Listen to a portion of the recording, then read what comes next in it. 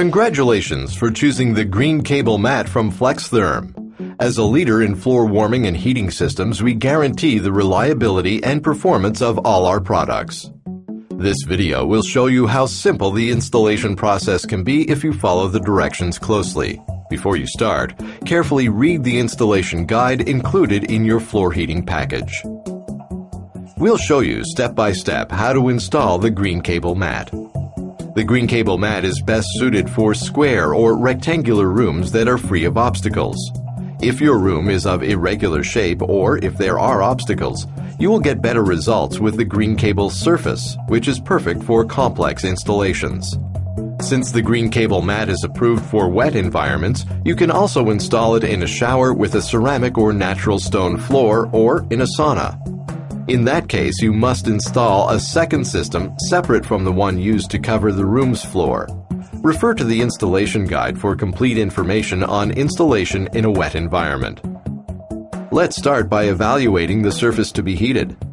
Make a scale drawing of the room on graph paper. With a calculator and some basic math, work out the surface area to be heated. Calculate the surface area of the room by multiplying length by width. Repeat the measurements and calculations to be certain that you have accurately calculated the area to be heated.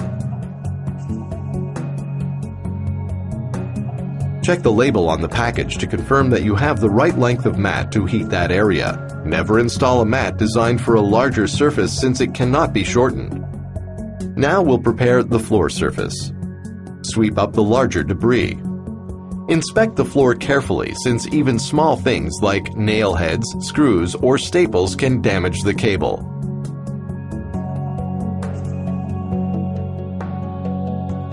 Clean the floor with a vacuum cleaner. Finally, clean up with a damp sponge because dust can interfere with adhesion of the mat, the dry set mortar, or the self-leveling cement. Test the mat cable before removing the cellophane. Check the resistance of the cable with a multimeter. The reading should be within 5% of the value on the cable label attached to the end of the cable. Also check the insulation of the cable using a megohmmeter. A reading of infinity means the cable is good. Record the results on the warranty card included in the box to validate the system warranty. Now you're ready to install the mat. Plan your installation carefully. You must maintain a minimum distance between the mat and walls or other obstacles. Do not install the mat any closer than 1.3 centimeters or half an inch from the base of a fixed item, a bath, or a shower.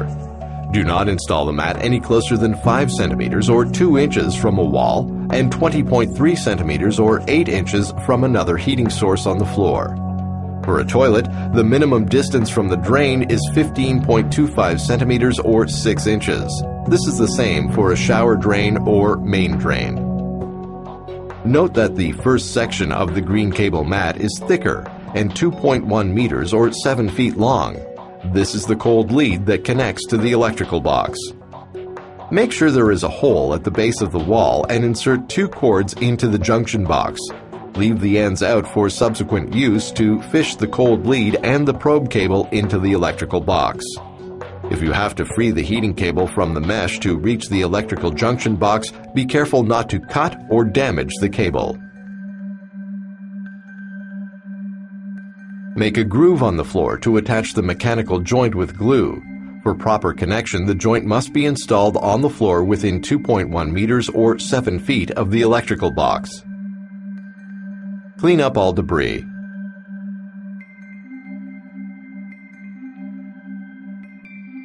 Roll up the identification label on the cold lead and secure it with electrical tape. Attach the end of the cold lead and the end of the probe to the cords you previously inserted in the wall.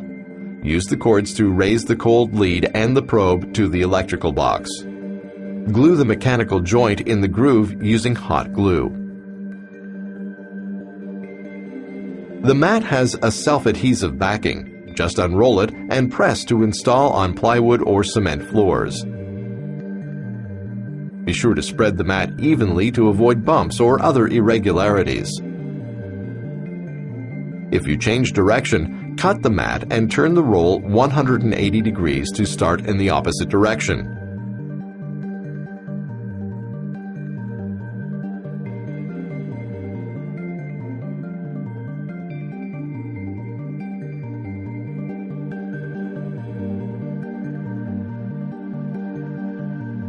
If you have to go around an obstacle, cut the mat and free the required length of cable.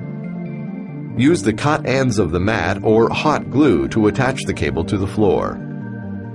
Ensure you keep a constant spacing of 7.6 centimeters or 3 inches between the cable runs and maintain the minimum distances needed between the cable and various obstacles as previously noted. The cable cannot be overlapped, cut, shortened, modified, or stapled. Let's install the thermostat probe. The probe must be located between two cable runs from 30 to 60 centimeters or 1 to 2 feet inside the heating zone, but far away from any other source of heat or cold, such as direct sunlight or a cold water pipe. The probe cannot overlap the heating cable. Determine the appropriate location and glue the probe to the floor. Glue the probe wire to the floor up to the wall. Repeat the resistance and insulation tests. Record the results on the warranty card.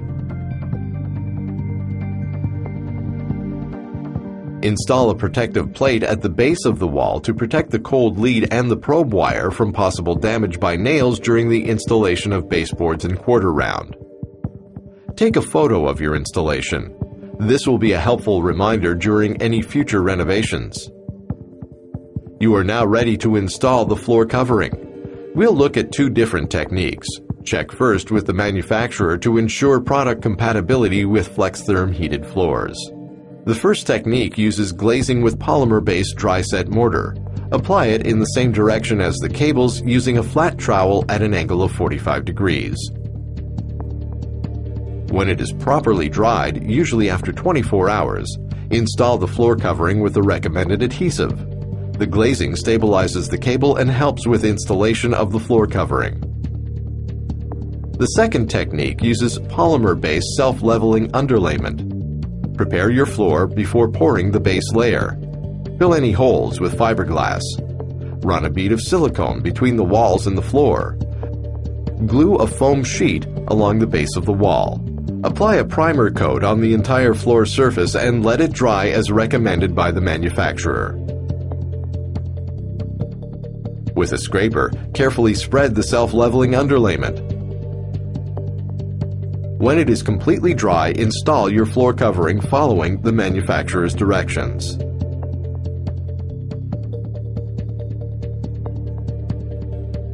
The last step is connecting the cables to the thermostat. First, repeat the resistance and insulation integrity tests one last time. Record the results again on the warranty card. The connection of the thermostat must comply with the electrical code in your region. Installation must be performed by a duly qualified individual where required by law. To maintain manufacturer's warranties, follow the required curing times for cement adhesive or self-leveling materials prior to operating the floor heating system.